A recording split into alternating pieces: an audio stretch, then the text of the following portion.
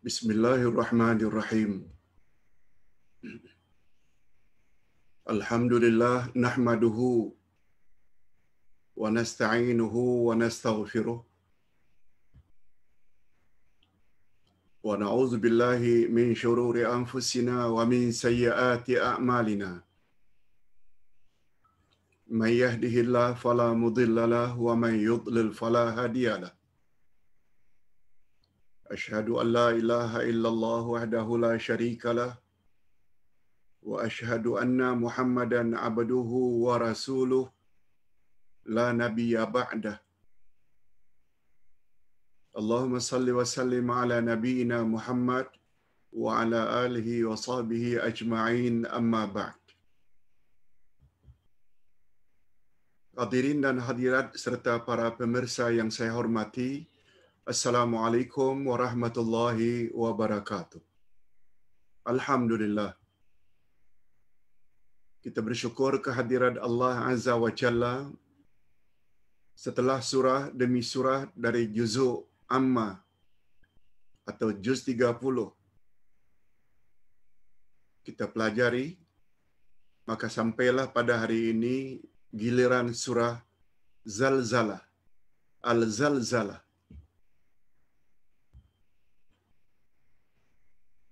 Hadirin dan hadirat rahimakumullah. Kelebihan surah Zalzalah ini sangat banyak. Malah ditinjau dari satu sudut, dia melebihi dari seluruh surah-surah yang lain.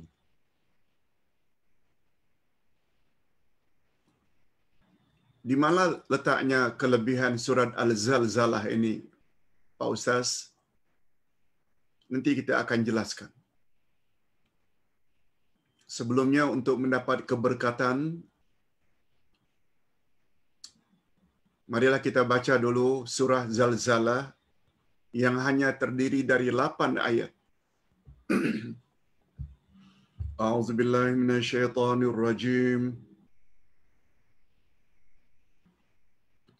Bismillahirrahmanirrahim. Idza zulzilatil ardu zilzalaha wa akhrajatil ardu athqalaha wa qala al insanu ma laha يومئذ تحدث أخبارها بأن ربك أوحى لها. يومئذ يصدر الناس أشتاتا ليروا أعمالهم. فمن يعمل مثقال ذرة خيرا يره ومن يعمل مثقال ذرة شرا يره Demikian 8 ayat yang terkandung di dalam surat Al-Zalzalah. Terjemahannya, apabila bumi digoncangkan dengan goncangan yang dahsyat.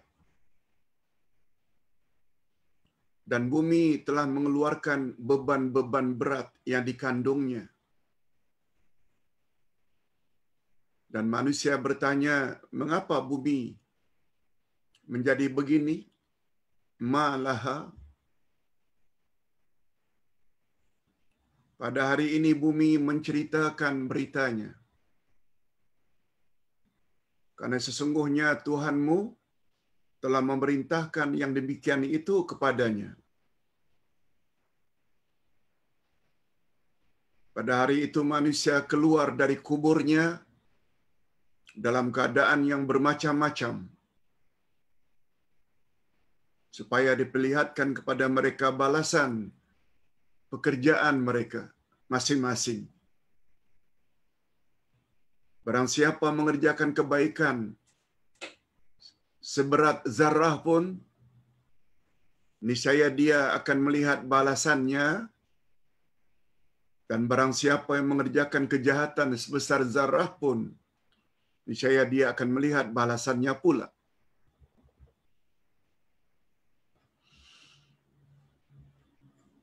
Surah ini Ustaz tafsirkan sepanjang 8 muka surat A4 8 halaman terhadap makna perkataan barangkali kita boleh baca masing-masing. Kita langsung saja kepada mukaddimah Surah ini mengandungi 8 ayat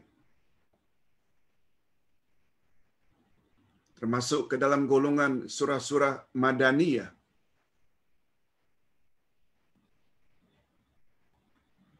Diturunkan sesudah surat An-Nisa. Nama Al-Zalzalah diambil dari perkataan Zilzal yang terdapat pada ayat yang pertama dalam surah ini. Yang maknanya goncangan. Goncangan bukan sembarang goncang. Dalam kaedah bahasa Arab, apabila kata kerja terdiri daripada empat huruf,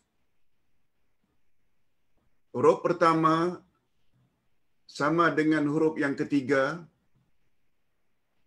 huruf kedua sama dengan huruf yang keempat, dia membawa makna pengulangan. Kata kerja dalam bahasa Arab biasanya tiga huruf. Terkadang-kadang empat huruf.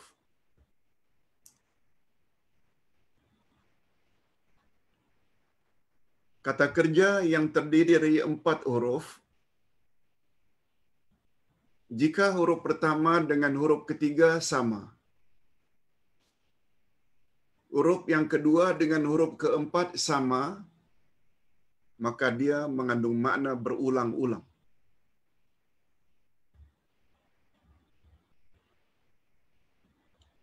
Seperti umpamanya kub kab, kub kab, dari kab kaba, artinya terompah, terompah. Jadi kub kab itu maknanya terompah yang jika kita pakai bunyinya akan berulang-ulang. Kub kab kub kab kub kab sif sif. Sin fa sin fa. Maknanya slipper Jepun bila kita pakai bunyinya bukan hanya sekali. Sip sip. Sip sip. Sip sip.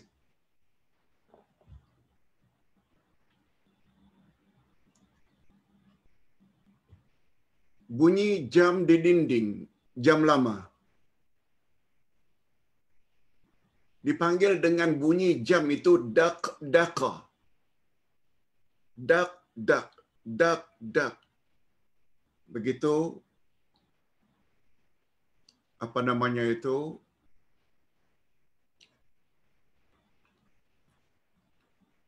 Jam lama biasanya ada apa namanya yang bergoyang itu. Biasanya diikuti dengan bunyi dak dak dak dak yang lama. Maka dinamakan dak daka banyak contohnya. Nah, kembali kepada zilzal dari perkataan zai lam zai lam menjadilah zalzalah. Zal lam zal lam yang maknanya goncang maknanya kegoncangan pada hari kiamat bukan hanya sekali berterus-terusan kegoncangan itu sampai hancur apa yang ada di langit dan apa yang ada di bumi.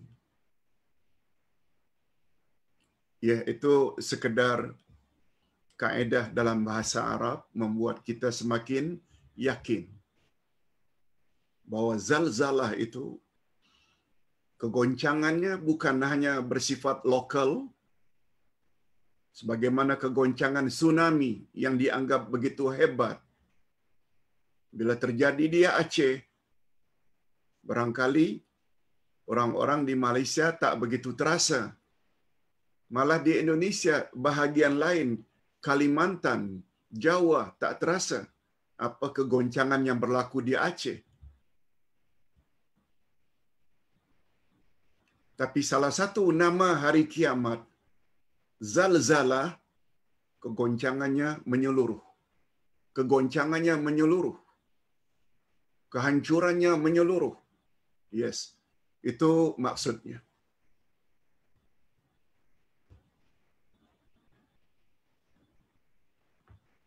Hadirin dan hadirat, serta para pemirsa yang saya hormati, kita sedang bercakap tentang tafsir surat Zalzalah.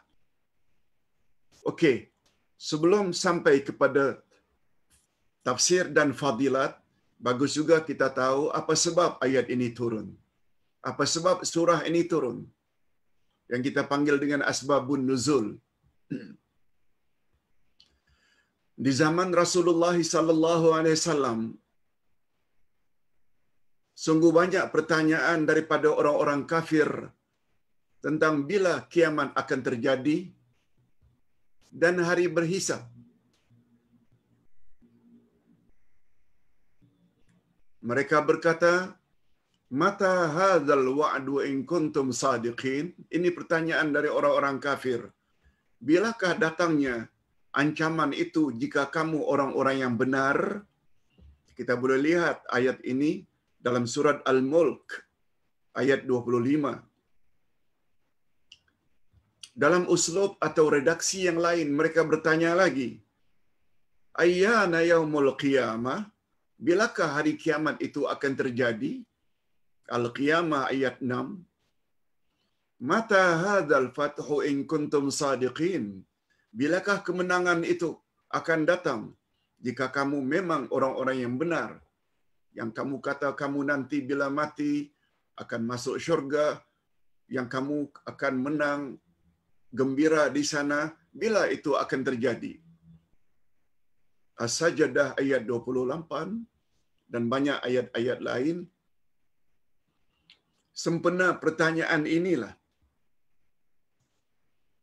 Lalu Allah turunkan surah ini. Ini namanya Asbabun Nuzul. Surah ini hanya menyebut tanda-tanda hari kiamat. Bukan secara terperinci. Bilakah kiamat akan terjadi? Agar mereka mengetahui bahawa ilmunya hanya ada di sisi Allah. Bila kiamat akan terjadi, ilmu itu hanya ada di sisi Allah. Hatta para malaikat dan para rasul pun tak akan tahu. Tak tahu yang mengetahui bila kiamat akan terjadi hanya Allah. Sama ada kiamat besar, hancurnya alam atau kiamat kecil bila kita akan mati. Ilmu tentang bila ianya akan terjadi hanya ada dalam ilmu Allah yang kita panggil dengan ghaib hakiki. Ghaib hakiki. Baik, kita sampai kepada bab fadilat surah. Di antara kelebihan membaca surat Al-Zalzalah yang pertama, surah Zalzalah sama dengan setengah Al-Quran. Ini yang Ustaz katakan tadi. Surah ini luar biasa. Kalau selama ini kita beranggapan surat Al-Ikhlas itu luar biasa hebatnya. Tapi Nabi pernah menyebut membaca sekali surat Al-Ikhlas sama dengan membaca sepertiga. Tiga kali baru sama dengan baca Al-Quran keseluruhannya. Jadi nilainya satu kali Al-Ikhlas sama dengan 10 juzuk. Surat Al-Kafirun sekali kamu baca sama dengan kamu membaca seperempat Al-Quran. Kalau seperempat maknanya sama dengan tujuh setengah juzuk. Empat kali baru tiga puluh. Tapi Allah Subhanahu Wa Taala, maaf Rasulullah Sallallahu Alaihi Wasallam menyebut sekali membaca surat Zalzalah sama dengan kamu membaca setengah Al-Quran, lima belas juzuk. Tetapi pemahamannya ah, mesti pemahaman yang betul. Ustaz bacakan hadisnya dari Ibnu Abbas radhiyallahu anhuma bahwa Rasulullah sallallahu alaihi wasallam bersabda "Idza zulzilat ta'dilu nisfal Qur'an wa qul huwallahu ahad ta'dilu sulusal Qur'an wa qul ya ayyuhal kafirun ta'dilu rubu'al Qur'an." Artinya, surah Zalzalah sama dengan setengah Al-Quran. Surah Al-Ikhlas sama dengan sepertiga Al-Quran. Dan surah Al-Kafirun sama dengan seperempat Al-Quran. Dikeluarkan oleh Imam At-Tirmizi, Al-Bayhaqi, Al-Hakim. Dan kata Al-Hakim, hadis ini sahih. Cuma kita ingin tahu apa maksudnya membaca sekali surat Zalzalah sama dengan membaca setengah Al-Quran. Nah, ulama tafsir mengartikan begini. Rahasianya membaca surat Zalzalah sama dengan setengah Al-Quran sebab kandungan Al-Quran ada dua. Kandungan Al-Quran ada dua saja. Yaitu pertama kandungan sebahagian Al-Quran adalah tentang dunia dan hukum hakamnya. Tentang dunia. Tentang hukum hakamnya. Yang berkaitan daripada perbuatan mukallaf. Perbuatan orang yang akil balil. Itu setengahnya. Tentang dunia saja. Nah, setengah lagi isi kandungan Quran adalah tentang akhirat. Dan apa yang akan terjadi pada hari akhirat. Jadi rahasianya surat Zalzalah ini bila dibaca sama dengan membaca setengah Al-Quran karena surah Zalzalah ini dari awalnya ayat 1 hingga ayat 8 mengandungi tentang alam akhirat sahaja dan tidak sedikit pun menceritakan tentang hal-hal bumi dan perihal penghuninya. Surat Zalzalah yang 8 ayat ini hanya membicarakan tentang hari akhirat sahaja, tak sedikit pun bercakap tentang hal keduniaan. Oleh itulah maka ia dikatakan sebagai setengah dari Al-Quran. Ini rahasianya. Begitu uraian para ulama. Oleh sebab itu, sebagai mukmin mukminat yang bijak, salah satu ciri-cirinya banyak ingat mati, banyak ingat akhirat, kita perlu sangat merenung makna yang terkandung di dalam surat Zalzalah. Tentang hafal, barangkali semua kita hafal. Tapi ingat, Quran bukan hanya untuk dibaca atau dihafal. Difahami dan diamalkan dalam hidup. Diyakini tanpa ragu. Itu dia. Sebabnya sahabat-sahabat utama seperti Abu Bakar, Umar, Uthman, Ali. Khasnya Abu Bakar. Ketika Nabi baca surat Zalzala, mereka menangis. Abu Bakar menangis sampai ditegur oleh Nabi. Mengapa kamu menangis? Wahai Abu Bakar. Abu Bakar jawab, sebab saya mendengar bacaan Tuhan surat Zalzalah. Nanti kita akan ceritakan dialog antara Nabi dengan Abu Bakar radhiyallahu anhu. Mengapa Abu Bakar menangis? Nanti kita akan bahas pada bahagian akhir. Yang kedua, fadilatnya. Surah ini mengandungi ayat-ayat yang sangat istimewa dan menyeluruh yaitu ayat faman ya'mal mithqala dzarratin khairan yara wa man ya'mal mithqala dzarratin syarran yara. Sehingga Nabi Muhammad sallallahu alaihi wasallam pernah menamakannya dua ayat terakhir ini sebagai al-fazzatul jami'ah. Apa makna al-fazzatul jami'ah? Ayat-ayat yang sangat istimewa dan menyeluruh. Komprehensif.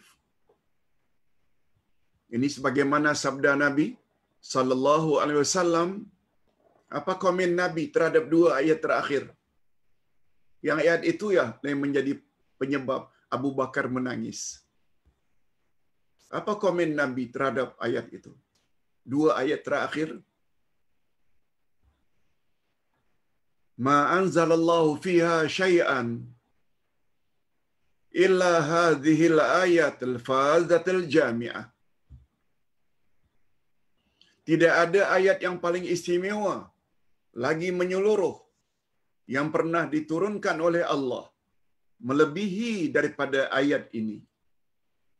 Ayat merujuk kepada dua ayat terakhir dari surat Zalzalah. Siapa yang buat amal kecil walau sebesar atom, dia akan diperlihatkan nanti di akhirat dan selanjutnya dia menerima ganjaran pahala. Siapa yang buat amal jahat walau kecil macam mana pun, Allah akan perlihatkan kepadanya nanti di akhirat dan selanjutnya dia akan disiksa.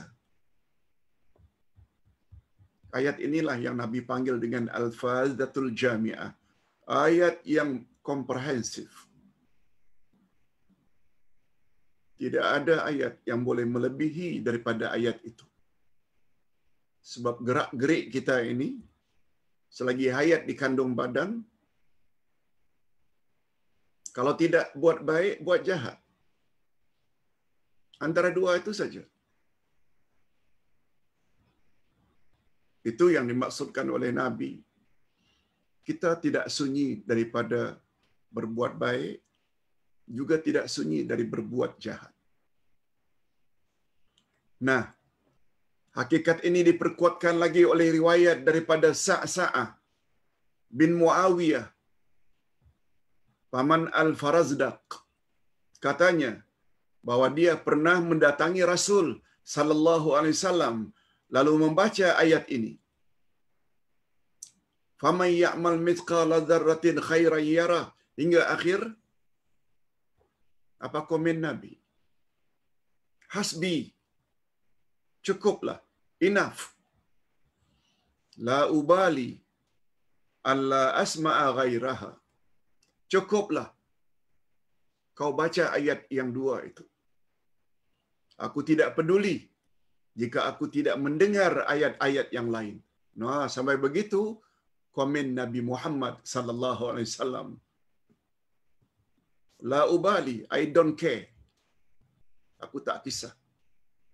Kalau aku tak dengar ayat lain pun, cukuplah. Hasbi, enough. Cukup ayat ini. Tak menggambarkan betapa hebatnya surat Zalzalah khasnya dua ayat terakhir. Okey. Setelah kita tahu kehebatan surat Al-Zalzalah, mari kita ikuti tafsirannya. Ustaz ulang sekali lagi membaca ayat demi ayat. Iza zulzilatil ardu zilzalaha Apabila bumi digoncangkan dengan goncangannya yang dahsyat. Ayat ini menggambarkan kejadian yang luar biasa ketika kiamat terjadi. Bumi bergoncang dan kegoncangannya yang sangat dahsyat sehingga hancur seluruh yang terdapat di atasnya. Sama ada bangunan,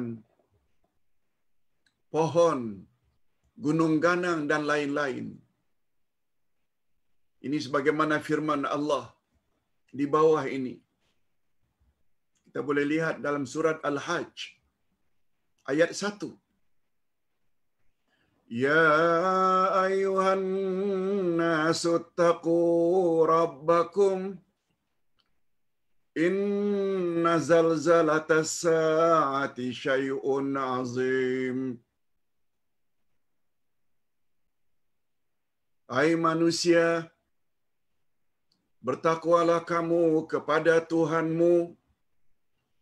Sesungguhnya kegoncangan pada hari kiamat itu adalah suatu kejadian yang sangat dahsyat, yang sangat besar, yang sangat agung. Sehingga sambungan ayat ni dua tiga disebut. Wanita yang sedang hamil tak kira kehamilannya berapa bulan pun akan keguguran. Karena kegoncangannya yang luar biasa. Ayat selanjutnya mengatakan ketika itu manusia akan mabuk. Bukan karena minuman keras. Maknanya dah tak menentu. Macam orang mabuk. Sukara. Begitu sambungan ayat surat Al-Hajj. Ini diperkuatkan lagi dalam surat Al-Qari'ah. Ha, ini nanti kita akan bahas surat Al-Qari'ah. وما أدراك ما القارعة يوم يكون الناس كالفراش المبثوث وتكون الجبال كالعهن المنفوش Tahukah kamu apakah hari kiamat itu? Pada hari itu manusia seperti kupu-kupu yang berterbangan dan gunung-gunung seperti bulu yang dihambur-hamburkan. Gunung yang sekokoh itu akan bertaburan. Macam mana dengan manusia yang kerdil ini? Gunung saja boleh hancur menunjukkan kegoncangan yang luar biasa. Dan kegoncangannya bukan sekali goncang. Tadi Ustaz dah jelaskan makna zalzala gegarannya itu berterus-terusan atas kehendak Allah.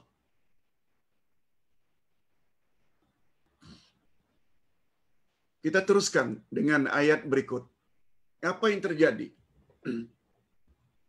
Bila terjadi kiamat, apa yang akan terjadi?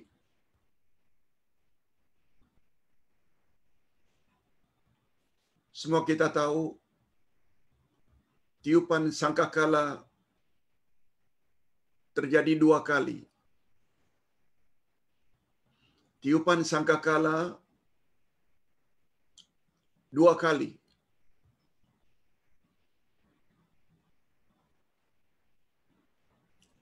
Tiupan pertama namanya Ar-Rajifah. Semuanya hancur sebagaimana yang digambarkan pada ayat yang pertama. Yang kedua namanya Ar-Radifah. Kalau yang pertama disebut dengan tiupan kehancuran, tiupan kali yang kedua dipanggil dengan tiupan kebangkitan. Ini ayatnya. Wa akhrajatil ardu asqalaha dan bumi telah mengeluarkan beban-beban berat yang dikandungnya itu baru terjemah harfiah. Apa tafsirannya atau terjemah maknawiyah? Pada hari kiamat, yakni setelah tiupan sangkakala pertama, bumi bumi akan memuntahkan isi kandungannya yang terdiri dari orang-orang mati, al-mauta. Bumi akan mengeluarkan bebanannya, maknanya bumi akan memuntahkan kandungannya yang terdiri daripada orang-orang mati dari kuburan mereka masing-masing dan juga kekayaannya seperti emas dan perak. Bumi bukan hanya mengeluarkan orang mati, tapi bumi juga akan mengeluarkan emas dan perak bergelimpangan. Setelah tiupan sangkakala yang kedua. Ini sebagaimana firman Allah dalam surat Al-Insyiqaq ayat 3 dan 4. Wa idzal ardu muddat wa alqat ma fiha wa takhallat. Apabila bumi diratakan, bumi diratakan setelah tiupan sangkakala pertama, ar-rajifah. Lalu disusuli dengan ar-radifah. Akhirnya semua jadi rata. Tidak ada lagi gunung-gunung. Tidak ada lagi Twin Tower, tidak ada lagi KLCC, tidak ada lagi Calif Tower. Tidak ada lagi Kingdom Tower yang di Jeddah. Tidak ada Calif Tower yang ada di Dubai. Semuanya rata. Dan ketika itu bergelimpangan emas dan perak dan orang-orang yang mati dihidupkan balik. Wa alqat ma fiha wa takhallat. Bumi akan memuntahkan apa yang ada di dalamnya dan bumi menjadi kosong.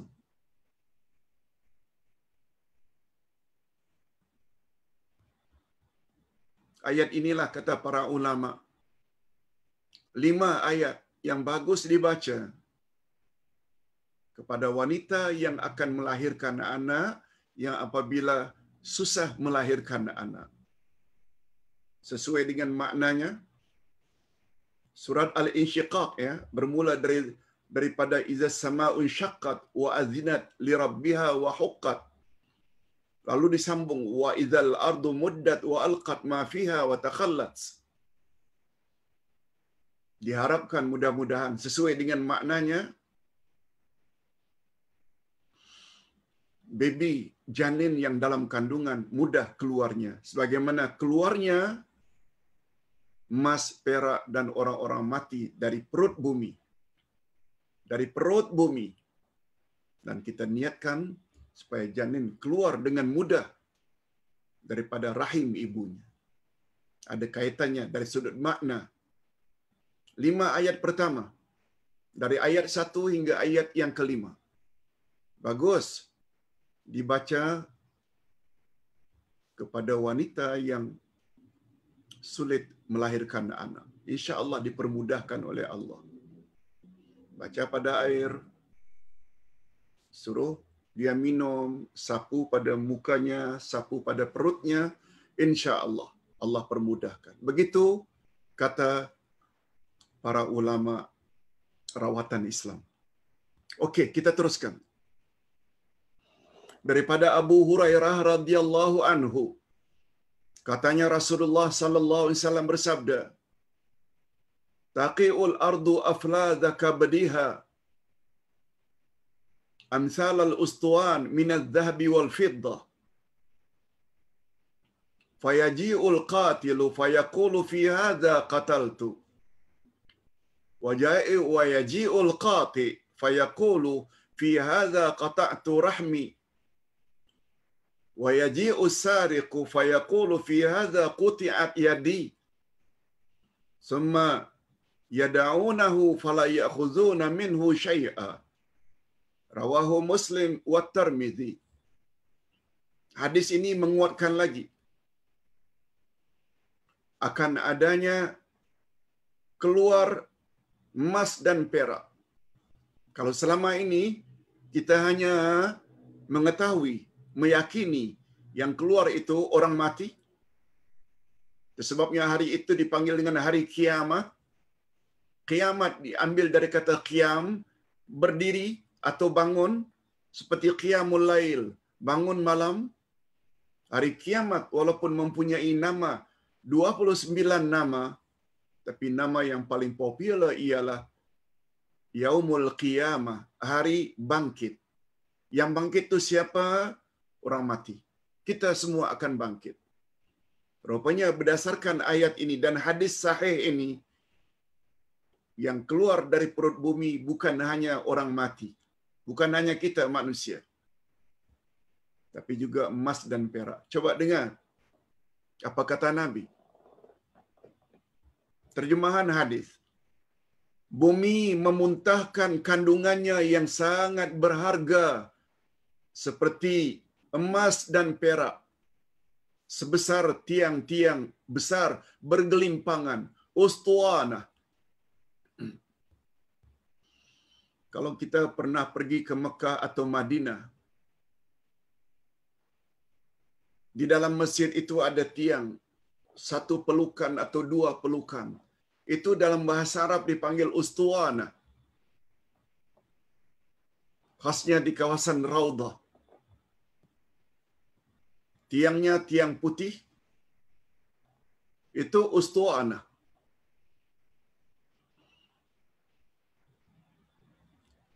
Tong gas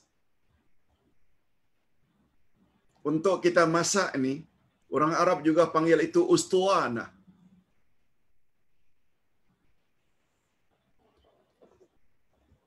Bayangkan emas dan perak akan muncul dari perut bumi bergelimpangan. Selain manusia juga emas dan perak. Yang besarnya bukan sebesar ibu jari, bukan. bukan sebesar handphone, bukan. Sebesar ustuana. Lalu apa kata Nabi? Kemudian datanglah pembunuh seraya dia berkata, yang lalu itu pembunuh dulunya di dunia. Karena emas dan perak inilah aku dahulu di dunia sanggup membunuh.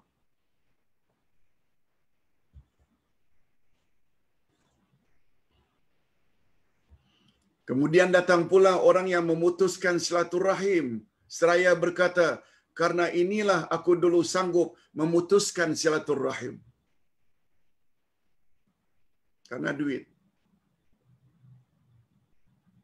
Emas dan perak itu selalu disebut sebagai mewakili harta atau duit.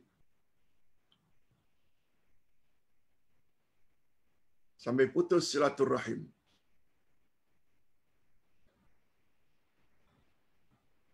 Kemudian datang pula pencuri seraya berkata, karena inilah dulu tanganku dipotong.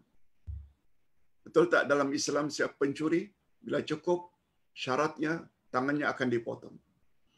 Kemudian mereka semuanya meninggalkan emas dan perak tersebut tanpa mengambilnya walau sedikit. Sebab pada hari itu sudah tak ada guna lagi harta. Sudah tidak ada guna lagi emas dan perak. Walaupun bergelimpangan, mereka tak ambil walau sedikit karena semuanya dalam keadaan takut. Ya Allah, aku akan masuk syurga ke neraka. Aku akan masuk syurga ke neraka.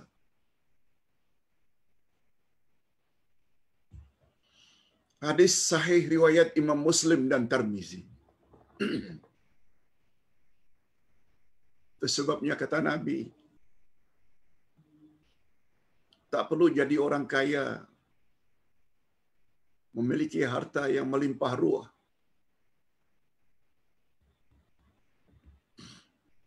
Sebabnya kata Nabi, afdalur rezeki ma yakfi. Sebaik-baik rezeki adalah mencukupi. Dalam hadis yang lain, laisal ghina an kasratil arad walakin ghina ghina nafs. Bukan yang dikatakan kaya orang yang punya harta yang melimpah ruah. Tapi kaya yang sebenar adalah kaya hati. Suka tolong orang, suka bantu orang. Tak kira apa kelebihan yang ada padanya. Sebabnya dalam satu riwayat dikatakan siapa yang mempunyai tenaga bersedekahlah dengan tenaganya.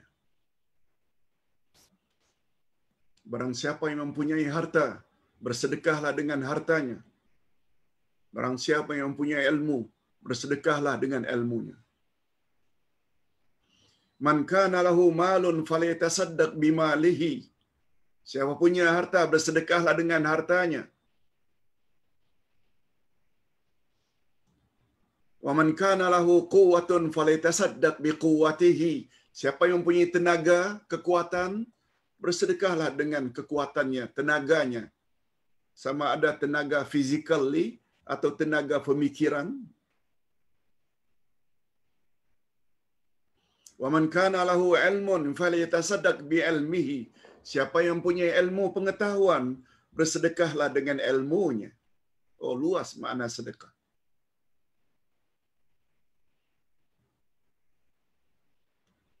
Kata Nabi, orang yang bersedekah tidak akan apa-apa.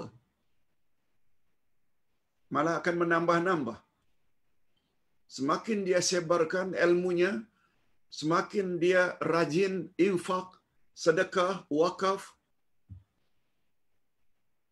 orang tersebut tidak akan apa-apa hidupnya. Itu sebabnya kata Nabi, manusia berkata, hartaku, hartaku, hartaku. Padahal harta mereka itu tiga saja. Apa yang mereka makan, habis. Apa yang mereka pakai, lusuh. Dan yang ketiga, apa yang mereka sedekahkan. Memang nampaknya kita bagi sejumlah harta, sejumlah ilmu, sejumlah tenaga pada orang lain. Tapi sebenarnya pulangannya untuk kita. Itu sebabnya yang sangat disesali oleh orang yang sedang nazar. Bukan karena tidak haji, tidak umrah, tidak salat, tidak puasa. Tapi yang mereka kesali karena mereka dulu ketika sehat tidak bersedekah. Allah jelaskan di dalam surat Al-Munafiqun ayat 10.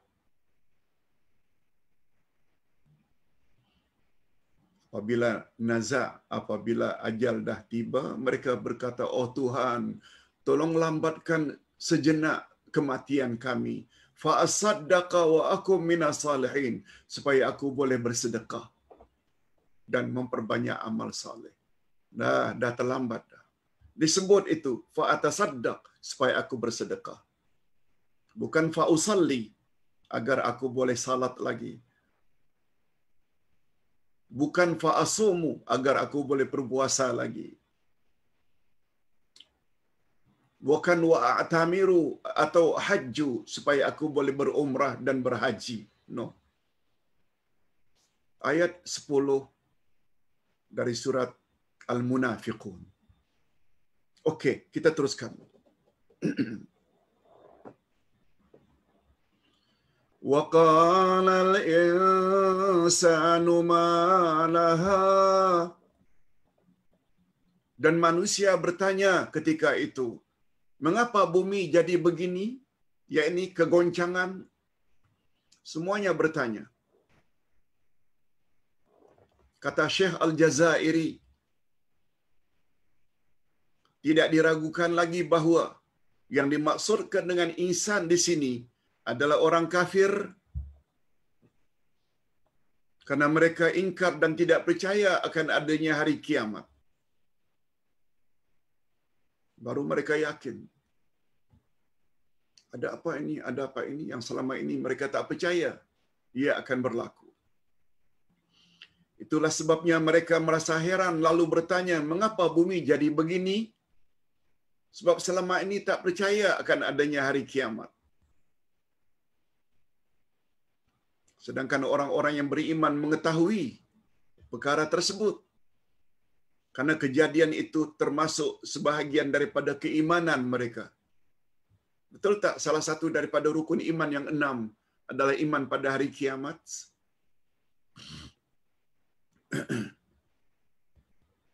Ada juga setengah ulama tafsir mengatakan seluruh manusia termasuk orang yang beriman. Sebab mereka jumpa kegoncangan itu buat first time. Macam itu hebat dan dahsyatnya kegoncangan. Orang beriman pun tertanya-tanya, ada apa ini? Setengah ulama kata itu orang kafir. Okeylah. Tak jadi masalah.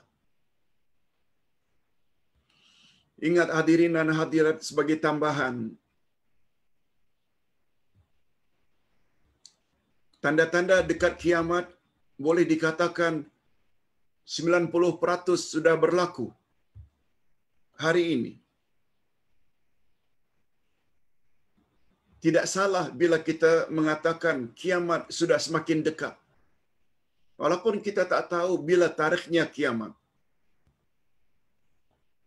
Kata ulama akidah, di antara bukti kiamat sudah semakin dekat, bukti pertamanya, apa dia? Karena Rasul terakhir sudah diutus oleh Allah. Itu dia tanda yang pertama dan utama kiamat sudah hampir. Ajaran Nabi Muhammad sallallahu alaihi wasallam berlaku hingga kiamat. Tidak ada rasul lagi. Di zaman nabi-nabi sebelumnya masih lagi. Tetapi bila sudah diutus rasul terakhir, ajarannya berkuat kuasa hingga kiamat. Di sinilah di antara rahasianya. Kitab Al-Quran ini dia menjadi pedoman bagi manusia hingga kiamat.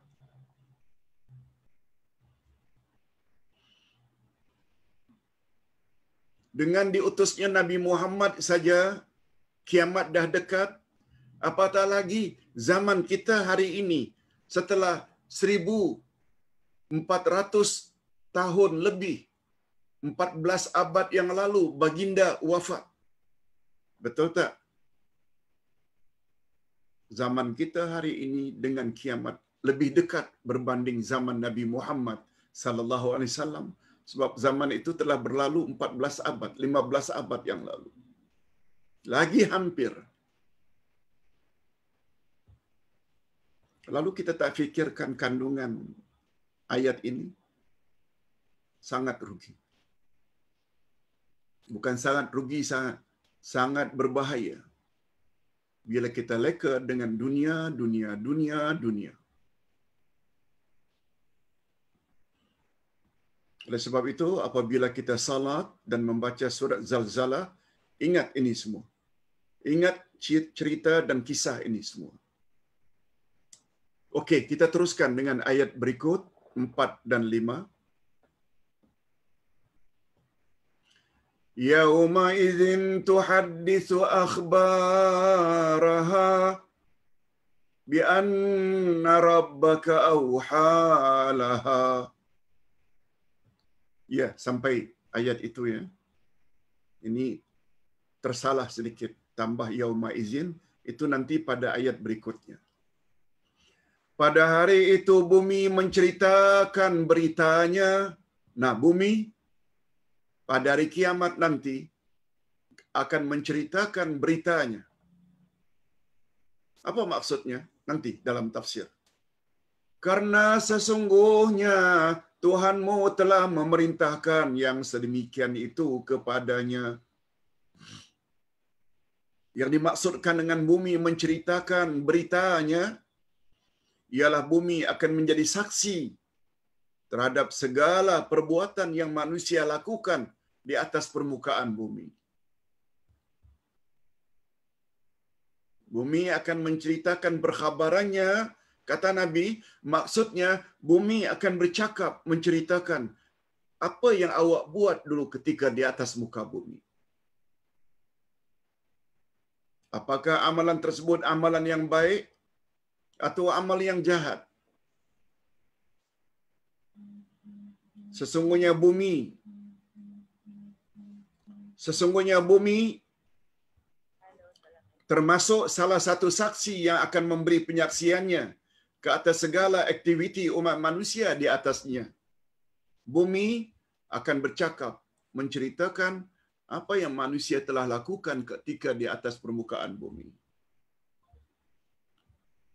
Dari Abu Hurairah radhiyallahu anhu katanya, Rasulullah sallallahu alaihi wasallam membaca ayat ini. Yauma idzin tuhadditsu akhbaraha. Pada hari itu bumi menceritakan beritanya. Pada hari itu bumi menceritakan beritanya. Lalu baginda Rasul sallallahu alaihi wasallam tahu sahabat mesti tak faham. Lalu Nabi yang bertanya, Atadru nama akhbaraha? Tahukah kamu sekalian, wahai sahabat, apa yang dimaksudkan beritanya itu? Para sahabat hanya menjawab, Allahu wa rasuluhu a'lam. Hanya Allah dan Rasulullah yang lebih mengetahui. Lalu baginda Rasul sallallahu alaihi wasallam pun menjelaskan. Ini dia penjelasan Rasul. Ini yang dipanggil dengan ayat Quran ditafsirkan oleh hadis Nabi. Fa inna akhbaraha an tushhida ala kulli abdin aw amatin bima amila ala zahriha wa taqulu amila kaza wa kaza fi yaumi kaza wa kaza fa hadhihi akhbaruha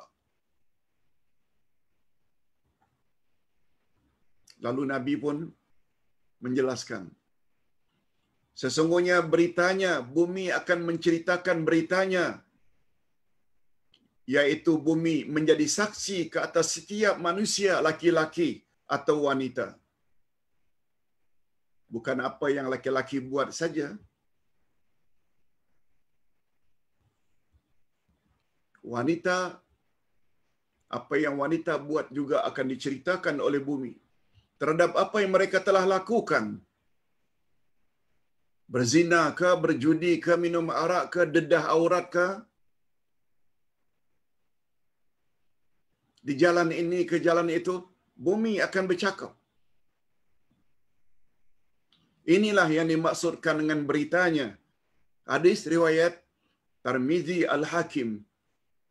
Kedua-duanya Tarmizi dan Hakim kata hadis ini sahih. Hadirin dan hadirat rahimakumullah. Sedikit tambahan.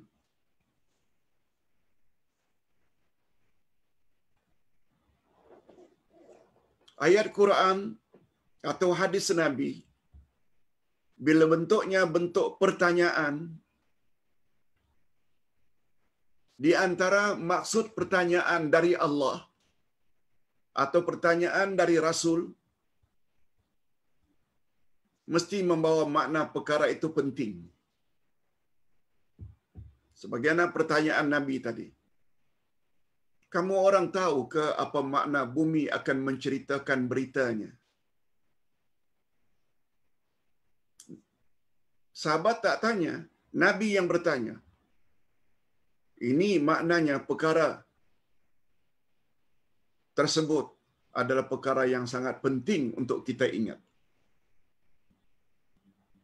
Sahabat jawab Allah wa rasuluhu a'lam. Lalu Nabi jelaskan. Yang dimaksudkan bumi akan menceritakan beritanya, bumi akan jadi saksi.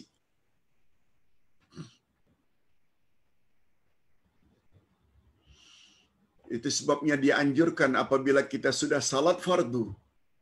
Kalau boleh, salat sunnah. Qabliyah ke, ba'diyah ke, biar berlainan tapak, berlainan tempat. Kata para ulama tujuannya untuk memperbanyak saksi. Makin banyak bahagian bumi itu kita berbuat baik, akan banyak pula saksi nanti akan menyokong kita di akhirat. Daripada Rabi'ah al-Jurashi, katanya, sesungguhnya Rasulullah sallallahu alaihi wasallam bersabda, apa kata Nabi? Tahafazu minal ardi fa innaha ummukum. Wa innahu laisa min ahadin amilan 'alaiha khairan aw syarra illa wahya mukhbiratum bih. Allahu akbar. Berwaspadalah kamu terhadap bumi ini. Hati-hati terhadap bumi ini. Karena dia adalah ibu kamu. Bumi ini adalah ibu kamu. Sesungguhnya tidak ada seorang pun yang melakukan amalan baik atau amalan buruk di atasnya. Melainkan dia akan menceritakan juga. Baik ke buruk ke yang awak lakukan di atas muka bumi, semua bumi akan ceritakan balik. Kalau Ustaz tidak salah atau Ustaz berani mengatakan kalau bumi ini setahu kita berputar putaran bumi ini sama dengan sedang recording. Sama ada recording piring hitam ke dulu-dulu bila dimainkan balik akan keluar suara sebagaimana yang direkod. Atau kaset ke recording. CD ke semuanya merekod. Dan kita sudah tidak heran lagi hasil recording itu kita boleh mainkan balik peranan bumi tak ubahnya seperti itu. Exactly. Recordingnya lagi hebat daripada recording bikinan manusia. Tak ada satu pun yang boleh terlepas. Hasil recording itulah nanti yang akan dimainkan balik di akhirat akan bercakap balik sesuai dengan yang direkod. Lebih kurang macam itulah gambarannya. Oleh sebab itu perbanyakkanlah recording yang baik-baik. Jangan diperbanyak dosa. Dan kalau sudah pun terlanjur masa silam, segera taubat pada Allah. Mungkin ada yang tanya, bila taubat Ustaz, akan ada lagi ke dalam recording itu? Jawabnya tidak. Sebab kata Nabi, peranan tobat adalah menghapus segala yang telah berlalu. Menghapus tobat yang terima oleh Allah dari dosa-dosa orang tersebut macam tak punya dosa. Itu peranannya tobat.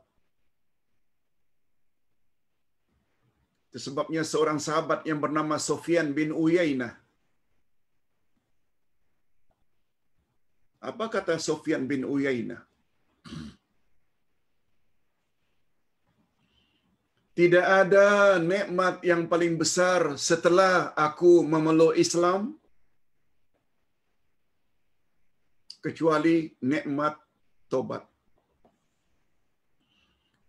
Ustaz ulang sekali lagi perkataan Sofyan bin Uyainah, seorang sahabat Nabi. Tidak ada nikmat yang paling besar setelah nikmat aku beriman dan memeluk Islam, iman itu nikmat nomor satu.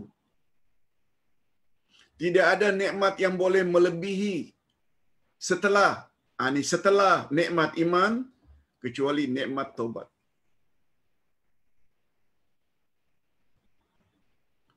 Mengapa beliau sampai berpendapat begitu? Hadirin dan hadirat, betul tak semua kita tak pernah bebas dari dosa? Tak banyak sedikit. Tak besar kecil. Dosa-dosanya. Yang maksum hanya rasul. Itu sebabnya kata Nabi, Kullu bani Adam khata' wa khairul khata'in at-tawwabun. Setiap manusia mesti pernah buat salah. Dan sebaik-baik orang bersalah adalah orang yang bertobat. Kita yang umur 70 tahun, 75, 65, 60 tahun. Betul tak? Zaman muda dulu, sweet 17, umur 20, 25. Dedah aurat ke mana-mana. Tidak tutup aurat. Kadang-kadang salat, kadang-kadang tidak. Banyak maksiat kita buat dulu. No problem. Yang penting tobat. Ingat kaedah Al-ibrah bikamalin nihayah la binaqsil bidayah. Yang menjadi ukuran di sisi Allah adalah kesempurnaan pada akhir hayatmu. Bukan yang jadi ukuran serba kekurangan di masa mudamu.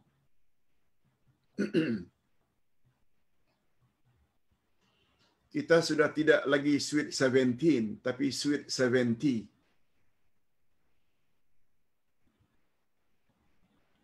Walaupun ilmu agama ini diperlukan oleh semua, 17 ke umur 17, 70 ke umur 70, 70 lebih perlu. Sebab biasanya 70 sudah dekat dengan mati. Walaupun kematian boleh datang pada umur belasan tahun.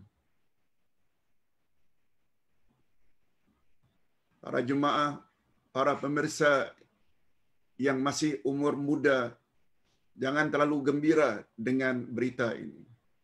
Kematian boleh datang anytime. Iza jaa ajaluhum la yastakhiruna sa'atan wa la yastaqdimun. Bila ajal tiba, dia tidak boleh ditangguhkan atau dimajukan walau sesaat. Mengapa sweet 70, 70-an, 60-an sangat perlu pada ilmu agama? Jawabnya, karena mereka tak lama lagi akan exam. Man rabbuka? Wa man nabiyuka? Wa ma dinuka? Yang jawab itu bukan mulut, tapi amal.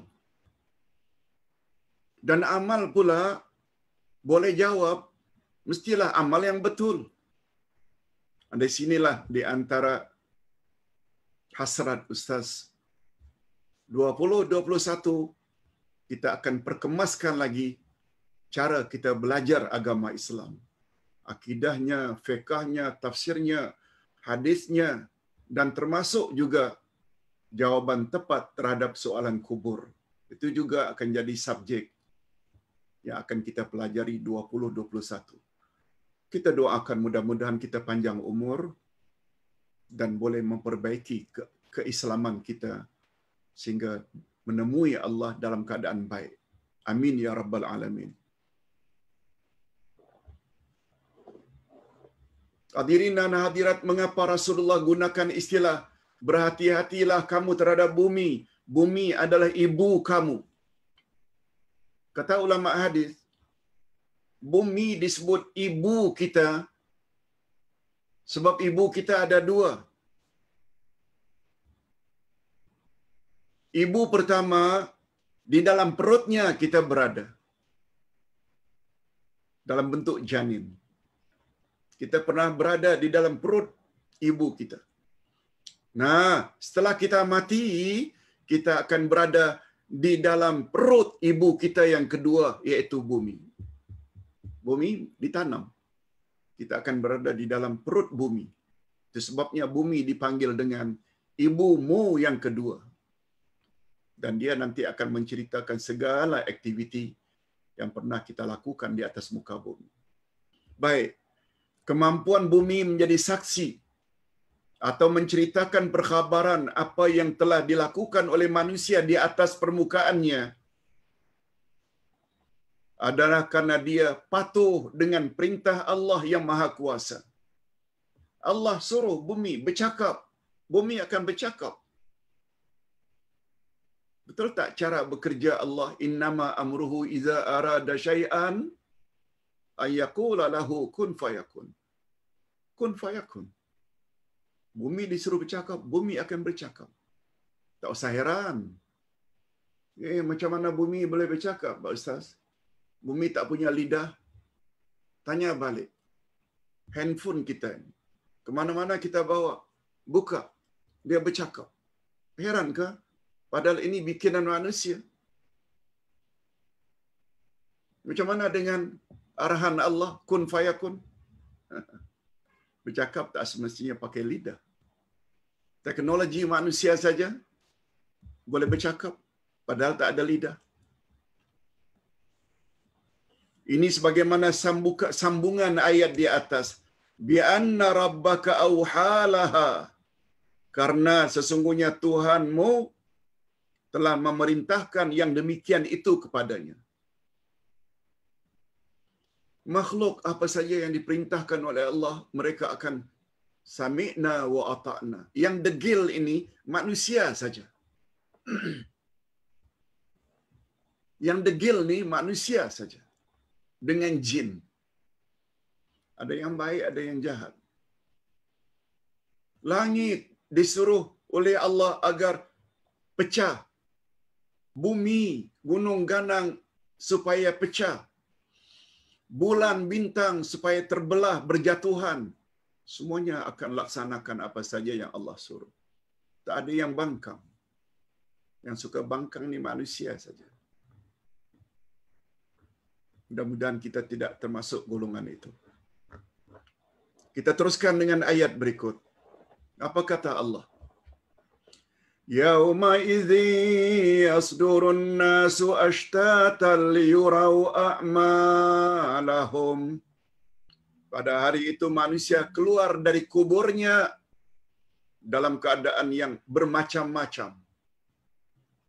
Supaya diperlihatkan kepada mereka balasan pekerjaan mereka. Manusia keluar dari kuburnya bermacam-macam kondisinya keadaannya. Ashtata Ustaz teringat pagi tadi ketika imam membaca surat Al-Lail kalau tak salah. Imam ada membaca Inna sa'yakum la syatta. Nah, ashtata ini dari kata syatta. Apa maknanya? Inna sa'yakum sesungguhnya usaha kamu wahai manusia lasyatta bermacam-macam. Lalu Allah tafsirkan pada ayat berikut. Fa amma man a'ta wattaqa wa saddaqa bil husna. Adapun orang yang suka memberi sedekah, infak, wakaf dan bertakwa buat suruhan Allah jauhi larangan Allah wasaddaqa bil husna dan dia membenarkan adanya hari kiamat. Dia membenarkan adanya hari pembalasan. Dia membenarkan adanya hari syurga. Fasayuyassiruhu lil usra kami akan permudahkan orang ini untuk buat amal-amal baik. Syaratnya suka infak takwa dan membenarkan adanya pembalasan di akhirat nanti. Itu satu jenis. Mudah-mudahan kita termasuk golongan ini. Lalu satu jenis lagi Allah cerita. Wa amma man bakhila adapun orang yang bakhil lokek kedekut tangkai jering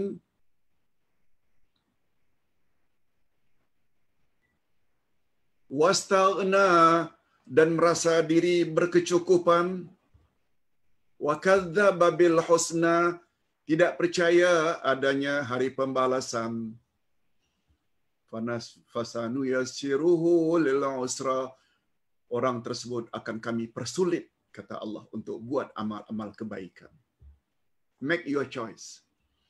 Tak pilih jenis insan yang mana satu.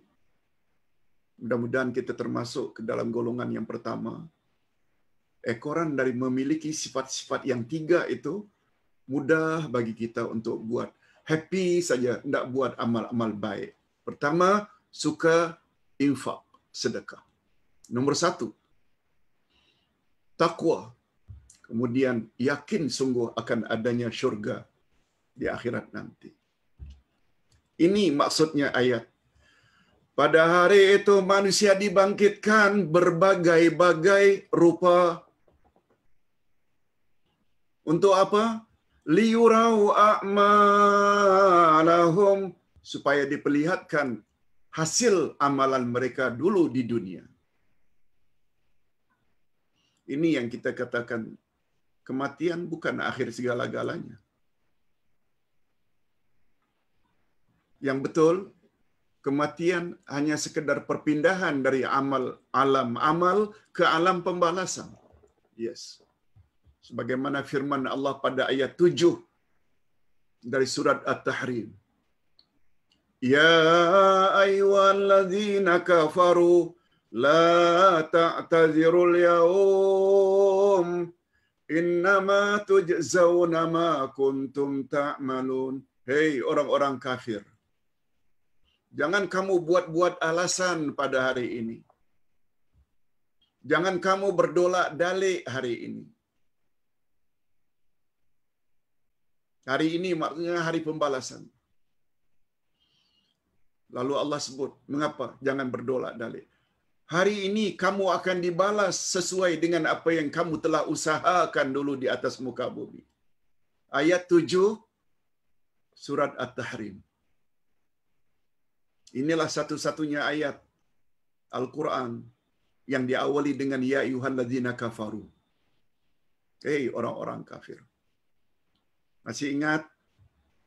Sedangkan Ya ayuhan ladhina amanu, Allah sebut sebanyak 89 kali. Ya ayuhan ladhina kafaru, sekali saja. Menunjukkan Allah sangat hormat, respek, sayang pada orang-orang yang beriman.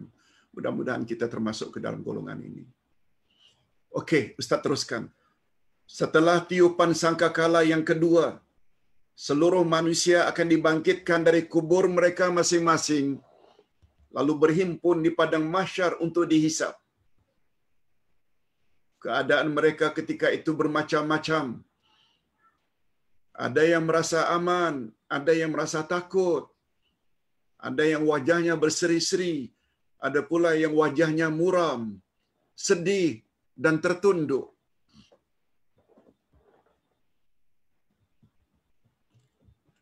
Mudah-mudahan kita termasuk ke dalam golongan orang-orang yang wajahnya berseri-seri. Tidak takut. Tujuan mereka dihimpunkan adalah untuk diperlihatkan kepada mereka akibat atau balasan amalan yang mereka lakukan di dunia dulu.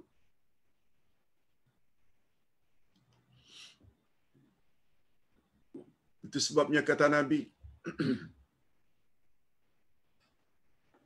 apabila bangkit bangkit pada sepertiga akhir malam, sebelum tahajud witir, baca lima rangkap zikir.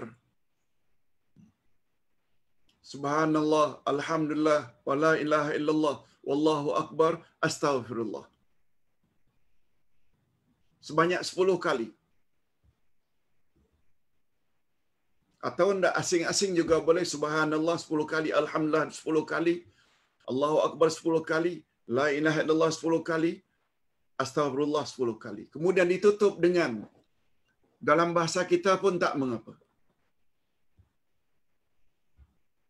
Ya Allah, kami mohon pelindunganmu daripada rasa takut ketika engkau bangkitkan kami pada hari kiamat nanti.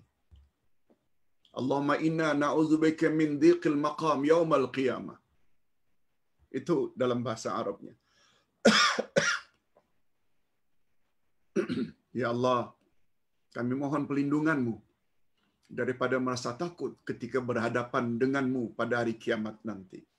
InsyaAllah, bila itu diamalkan, jiwa kita akan tenang nanti bila berhadapan dengan Allah. Nah, kita sampai ke ayat yang terakhir. فَمَنْ يَعْمَلْ مِثْقَالَ ذَرَّةٍ خَيْرًا يَرَهُ وَمَنْ يَعْمَلْ مِثْقَالَ ذَرَّةٍ شَرًّا يَرَهُ Barang siapa mengerjakan kebaikan sebesar zarah. Zarah maknanya sebesar atom. Niscaya dia akan melihat balasannya. Dan barang siapa yang mengerjakan kejahatan sebesar zarah pun, niscaya dia akan melihat balasannya pula. Maksudnya, barang siapa yang melakukan amalan yang baik, walau bagaimanapun kecilnya, amalan baik itu niscaya dia akan melihatnya termaktub di dalam kitab catatan pada hari kiamat. Dan selanjutnya ia akan menerima ganjaran pahalanya pada hari tersebut. Dan dia akan gembira. Mudah-mudahan kita termasuk golongan ini. Amin ya rabbal alamin. Allahumma ja'alna minhum. Demikian juga sebaliknya. Sesiapa yang melakukan amalan yang jahat ketika di dunia, walau bagaimanapun kecilnya amalan jahat itu, niscaya dia akan melihatnya termaktub di dalam kitab catatan pada hari kiamat dan selanjutnya dia akan menerima balasannya pada hari tersebut yakni siksaan Allah Subhanahu wa taala berfirman dalam surat Al-Kahfi ayat 49. Wa wadi'a al-kitabu fatara al-mujrimina mushfiqina mimma fi wa yaquluna ya waylatana ma li hadzal kitab لا يغادر صغيرة kabiratan illa ahsaha wa wajadu ma amilu hadirah ولا يظلم ربك أحدا dan diletakkanlah kitab lalu kamu akan melihat orang-orang yang bersalah ketakutan terhadap apa yang tertulis di dalamnya. Orang jahat. Dan mereka berkata, aduhai, celakalah kami. Kitab apakah ini Yang tidak meninggalkan yang kecil dan tidak pula yang besar, melainkan ia semuanya mencatit, tercatit di dalamnya. Mereka dapati apa yang telah mereka kerjakan, ada tertulis dan Tuhanmu tidak menganiaya seorang jua pun. Abdullah bin Amr bin Al-As radhiyallahu an berkata, ini yang Ustaz ceritakan tadi. Ketika surat ini diturunkan, yakni Iza zulzilatil ardu zilzalaha, hingga akhir. Abu Bakar radhiyallahu anhu yang ketika itu sedang duduk lalu menangis.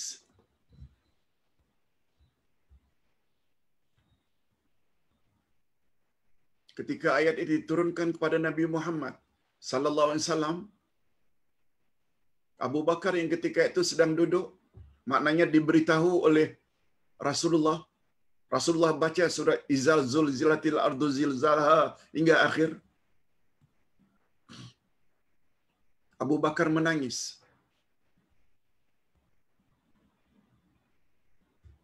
Lalu Rasulullah sallallahu alaihi wasallam bertanya kepada Abu Bakar, "Ya Abu Bakar, ma yubkika ya Abu Bakr? Apakah yang menyebabkan engkau menangis wahai Abu Bakar?" Rasulullah ingin tahu mengapa tak pasal-pasal Abu Bakar menangis. Abu Bakar menjawab, "Yubkini hadhihi surah." Surat yang Tuan baca tadi itulah yang membuat aku jadi menangis. Surat Zalzalah.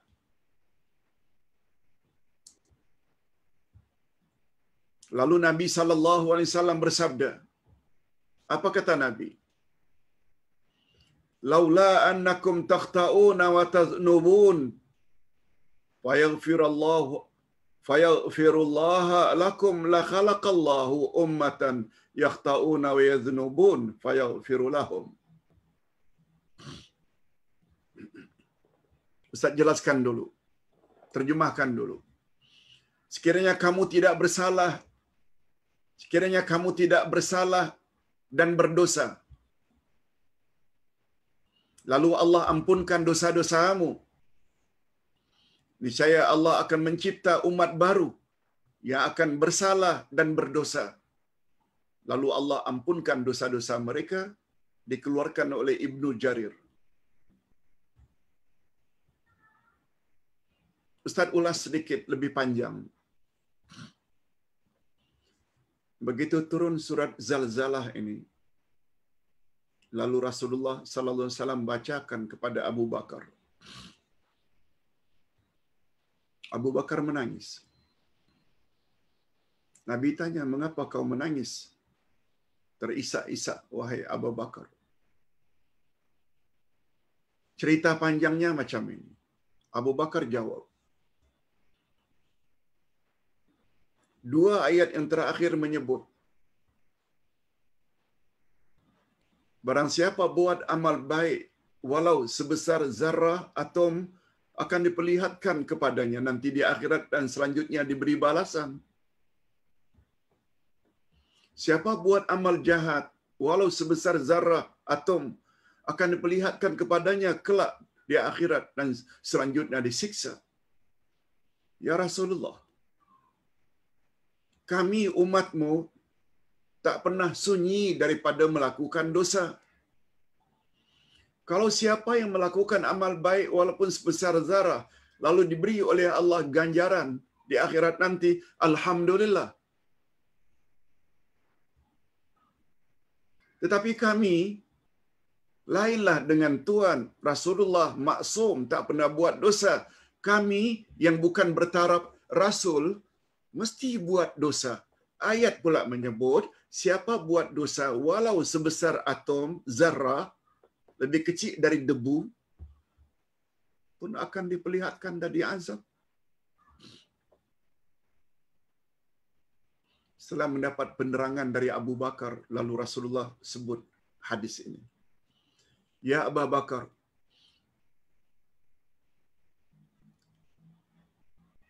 sekiranya kamu tidak bersalah dan tidak pernah buat dosa. Lalu Allah SWT ampunkan dosa-dosamu. Sekiranya kamu semua umat manusia tak pernah buat dosa. Lalu mereka minta ampun pada Allah. Lalu Allah ampunkan dosa-dosa mereka. Andai kata demikian, tak ada seorang pun manusia buat dosa niscaya Allah akan cipta umat yang baru. Yang umat yang baru itu selain buat baik juga buat dosa. Selain buat baik juga buat salah. Lalu Allah Subhanahu Taala ampunkan dosa-dosa mereka. Hadirin dan hadirat jangan salah paham ya. Ini tidak bermakna green lights menganjurkan supaya buat dosa lah, jangan sampai tak buat dosa langsung. Bukan itu. Tidak menggambarkan bahawa fitrah manusia memang macam itu. Sebab manusia bukan malaikat. Selain ada akal juga ada nafsu. Itu sebabnya kata Umar ketika ditanya, Wahai Umar ibn Khattab, mana yang lebih baik? Orang yang tidak melakukan dosa karena dia tidak mau melakukan dosa atau orang yang berkeinginan melakukan dosa tapi dia tahan sehingga juga tidak melakukan dosa. Umar jawab orang yang ada keinginan untuk melakukan dosa lalu dia tahan sehingga tak jadi melakukan dosa itu adalah lebih baik. Sebab bila ada keinginan, maknanya dia ada nafsu. Cuma nafsu tersebut tidak dilayannya kecuali dengan cara yang hak.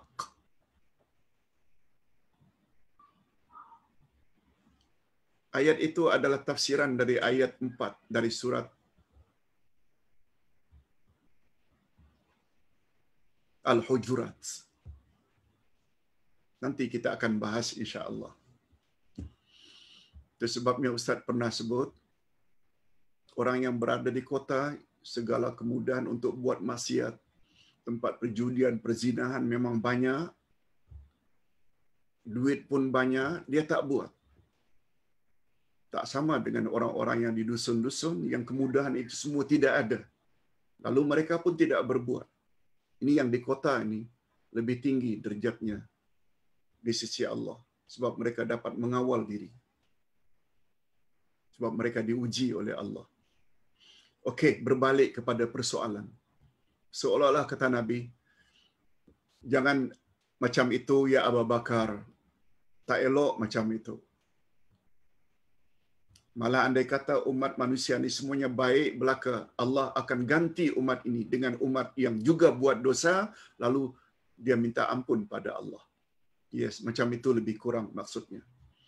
Dua ayat ini, فَمَنْ يَعْمَلْ مِثْقَالَ ذَرَّةٍ خَيْرًا يَرَى وَمَنْ يَعْمَلْ مِثْقَالَ ذَرَّةٍ شَرًّا يَرَى mengandungi galakan agar kita melakukan kebaikan apakah banyak atau sedikit sebagaimana juga dia memberi peringatan agar kita menjauhi kejahatan apakah banyak atau sedikit.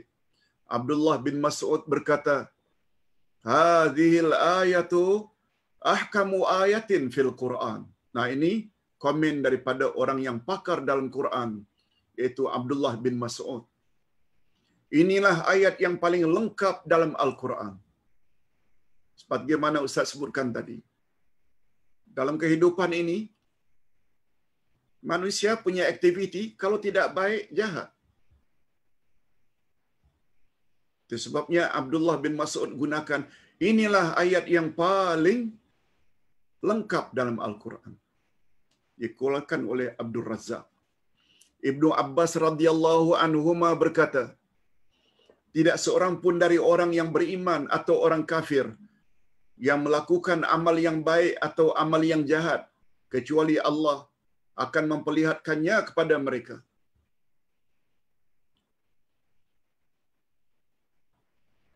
Itu sebabnya kita pernah menyebut para ulama berpendapat hatta orang kafir mati kita boleh mengatakan inna lillah wa inna ilaihi raji'un. Kita semua milik Allah dan kepada Allah kita akan balik. Betul tak? Yang dicipta oleh Allah dan balik pada Allah bukan hanya orang Islam saja. Orang kafir juga balik. Adapun terhadap orang yang beriman, Allah akan mengampuni kejahatannya dan memberi ganjaran pahala terhadap kebaikannya. Allahumma ja'alna minhum. Ya Allah, masukkanlah kami ke dalam golongan ini. Sedangkan orang kafir pula, Allah akan menolak kebaikannya dan akan menyiksa dengan karena dosa-dosanya. Na'udzubillahi min zalik. Atas dasar inilah, Atas dasar inilah orang-orang kafir akan disiksa karena kekafirannya. Adapun tentang kebaikannya hanya berguna ketika di dunia saja seperti terhindar daripada bahaya. Sedangkan di akhirat tidak berguna kebaikannya walau sedikit dan tidak pula dapat menghindarkannya daripada siksaan Allah. Siksaan neraka dan mereka akan kekal abadi di dalamnya. Hakikat ini sesuai dengan firman Allah. Ini dia. Menunjukkan baik macam mana pun orang-orang kafir mesti akan merugi di akhirat nanti. Apa sebab?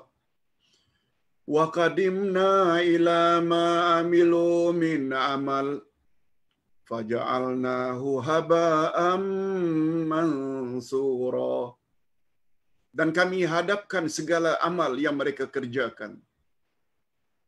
Lalu kami jadikan amal itu bagikan debu yang berterbangan. Walau baik macam manapun orang kafir, kebaikan mereka sedikit pun tidak ada makna di akhirat nanti disebabkan kekafiran mereka. Kekafiran di sini tentu saja maksudnya kesyirikan mereka.